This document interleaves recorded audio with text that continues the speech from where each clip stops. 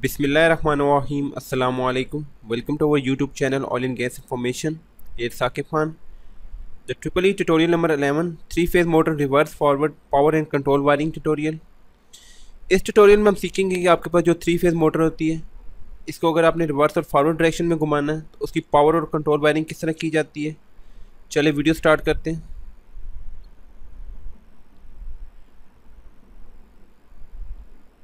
सबसे पहले हमें एक सर्किट ब्रेकर चाहिए होगा। आपके पास ये सर्किट ब्रेकर है, ये थ्री पोल वाला one two and three then हम मैग्नेटिक कंटेक्टर लेंगे। ये हमारे पास मैग्नेटिक कंटेक्टर नंबर वन है। इसी तरह सेम एक और मैग्नेटिक कंटेक्टर होगा नंबर टू और साथ में हम ओवरलोड रिले ले लेंगे। ये हमारे पास ओवरलोड रिले नंबर वन है। और इसी तरह ओवरलोड रिले नंबर टू होगी। देन हम स्टॉप पुश बटन लेते हैं, जो कि नॉर्मली क्लोज पोजीशन में होता है। इसी तरह एक और पुश बटन लेंगे फॉरवर्ड डायरेक्शन के लिए, ये नॉर्मली ओपन पोजीशन में होगा। और साथ एक और पुश बटन ले लेंगे रिवर्स डायरेक्शन के लिए, जो भी नॉर्मली ओपन पोजीशन में होगा। अब इधर इस ट्यूटोरियल में हमने जो मैग्नेटिक कंटेक्टर यूज़ किए हैं, ये 380 वोल्ट पे ऑपरेट होंगे। मींस कि इनमें जो कॉयल होती है ए वन और ए टू उसको जब 380 वोल्ट मिलेंगे तो वो एनर्जाइज होगी। अब इधर हमारे पास एक थ्री फ़ेज़ मोटर है। इस मोटर को हमने फॉरवर्ड और रिवर्स डायरेक्शन में घुमाना है। अगर मोटर के हम इस कवर को ओपन करें तो अंदर कुछ इस तरह के टर्मिनल नज़र आएँगे। अभी तक हमारे पास ये टर्मिनल है, ये स्टार कनेक्शन में कनेक्टेड है। ऊपर वाले जो तीन हैं, वो आपस में कनेक्टेड है और यहाँ पे हम जो ओवरलोड रिले से आउटपुट आएगी, वो कनेक्ट करेंगे। U one V one and W one इसके बाद हम थ्री फ़ेज़ पावर सप्लाई ले लेते हैं। L one L two and L three ये हमारे पास थ्री एटी वोल्ट्स होंगे।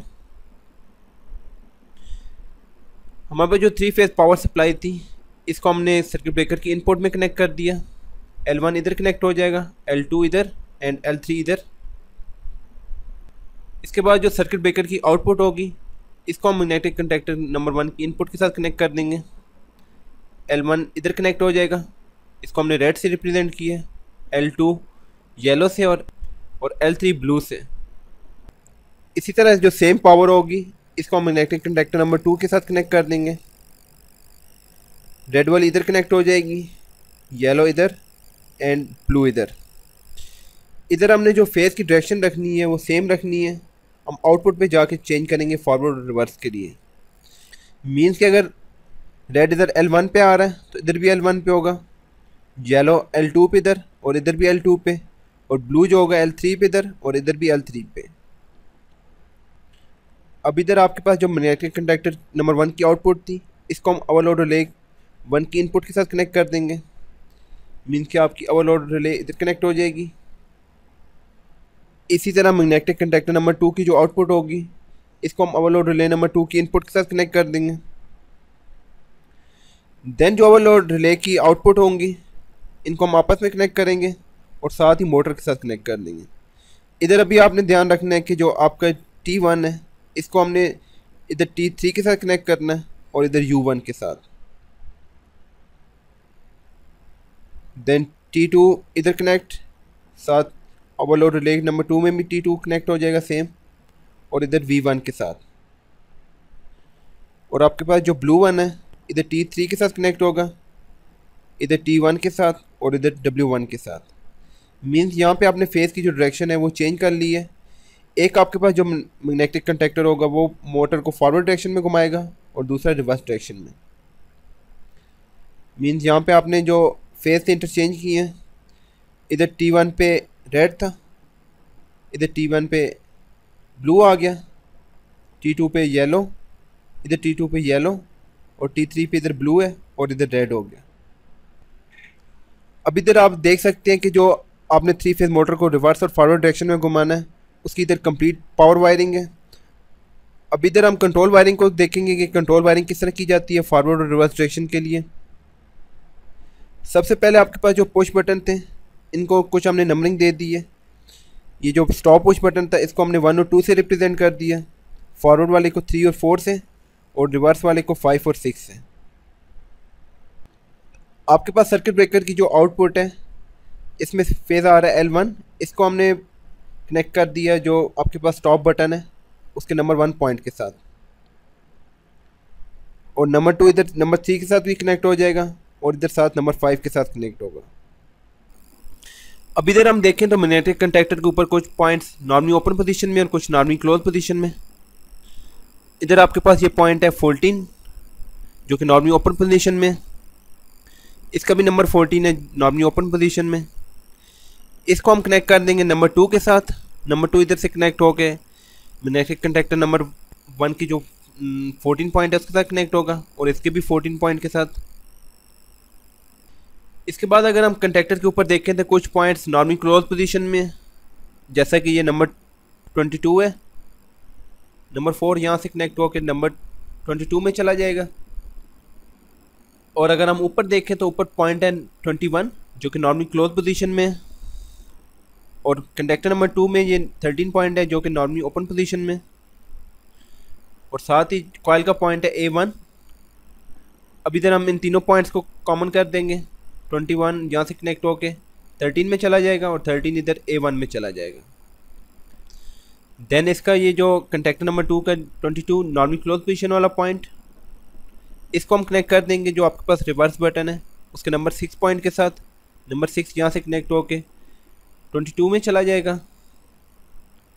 और अगर हम ऊपर देखें तो ट्वेंटी वन है नॉर्मली क्लोज पोजीशन में, और इस कंटेक्टर में थर्टीन नॉर्मली ओपन पोजीशन में, और साथ ही कॉयल का पॉइंट है ए वन इन तीनों पॉइंट्स को हम कॉमन कर देंगे। ट्वेंटी वन यहाँ से कनेक्ट होके थर्टीन में चला जाएगा, और थर्टीन यहाँ से ए वन में। इसके बाद अगर हम ओवरलोड रिले के ऊपर देखें तो कुछ पॉइंट्स हैं नॉर्मली क्लोज पोजीशन में, जैसे कि 96 और 95 इसका भी 96 ये एक फेस के साथ कनेक्ट कर देंगे। इधर हमने एल थ्री के साथ कनेक्ट कर दिया।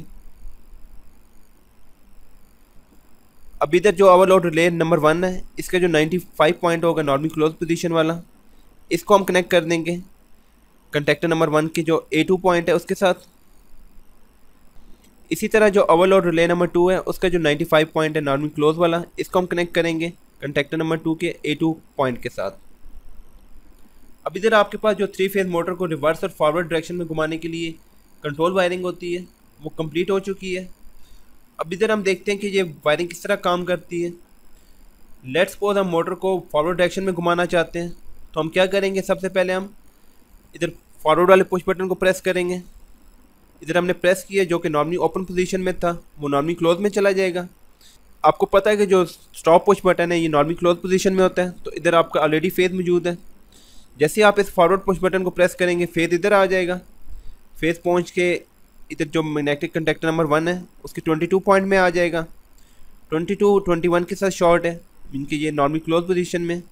तो ये फ़ेज़ यहाँ से पहुँच के इधर आ जाएगा और साथ ही ए वन में जैसे आएगा और इस साइड से ए टू में ऑलरेडी फ़ेज़ आया हुआ है तो आपका ये कंटेक्टर एनर्जाइज हो जाएगा और आपकी मोटर फॉरवर्ड डायरेक्शन में घूम जाएगी। अब इधर हम देखते हैं कि मोटर को आप रिवर्स डायरेक्शन में किस तरह घुमाएँगे।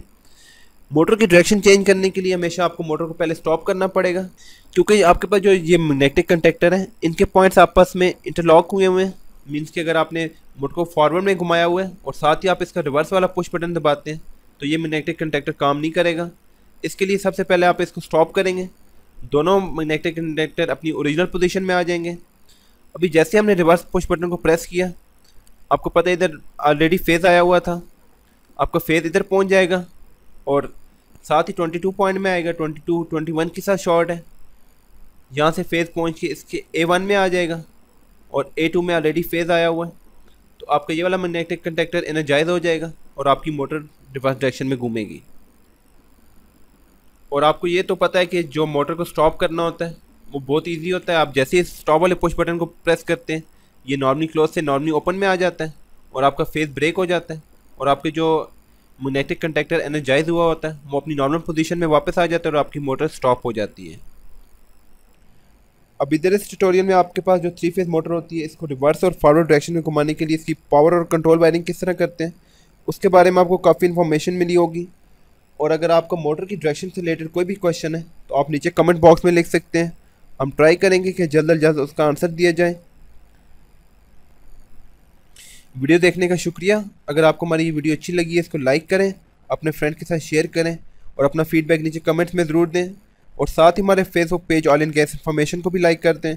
हमारे Facebook page oil and gas information का लिंक आपको नीचे डिस्क्रिप्शन बॉक्स में मिल जाएगा। और साथ ही हमारे YouTube channel oil and gas information को सब्सक्राइब कर दें और बेल आइकन के बटन को क्लिक करें, ताकि जैसे चैनल पर नई वीडियोज़ अपलोड हो, वो आपको नोटिफिकेशन में आ जाए। Thank you Allah हाफि